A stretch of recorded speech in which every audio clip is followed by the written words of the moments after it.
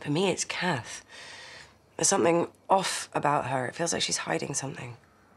Well, I thought we really needed an investor. We do. If we don't sign today, we're in a mess. What's the rush, though? I mean, it's not like we're going to starve without this deal. Like it or not, we need it. Maybe when we meet her, we can ask a few more questions. And we won't sign anything unless we're both happy. Sounds like a plan. Right, I'm going to jump in the shower.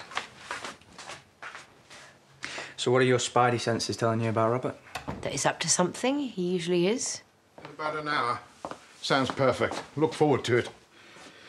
Good morning, meine schöne Familie. Who's your meeting with? Robert. He's coming round.